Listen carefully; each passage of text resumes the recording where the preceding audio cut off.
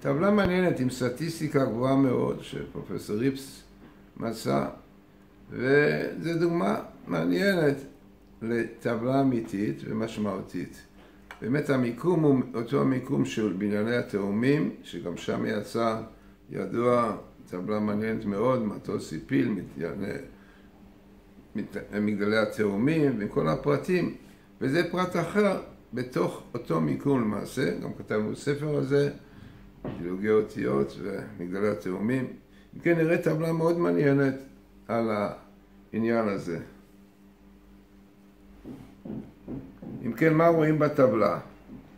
אתם רואים בטבלה, מה שמאוד מעניין, מתקפת האסלאם, כמובן האסלאם שקשור בישמעאל, שמופיע פה ישמעאל, ומעניין שהשהיד זה הערבים, כמובן בשבילם השהיד זה זה שמבצע את כל הטרור הזה, ככה יש שם טבלה מעניינת ביותר, ממש הגבלה מאוד משמעותית, אותם שמה שהיו הטרוריסטים מהידום, חלק מהם באו ממצרים, ככה שיש פה מתקפת האיסלאם בהגבלה.